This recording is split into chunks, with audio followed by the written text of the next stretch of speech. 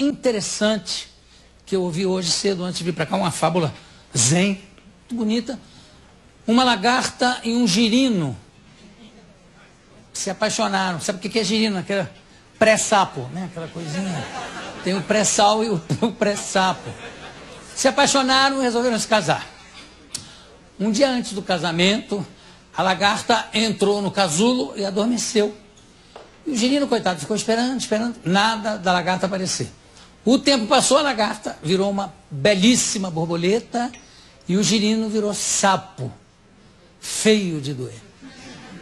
Vendo como o sapo era horrível, a borboleta falou que não era louca de casar. Saiu voando do casulo. Na hora que saiu voando, o sapo esticou o linguão e pá! Comeu a borboleta. Moral da história. Não importa o quanto você é feio tendo uma boa língua, você sempre vai comer alguém.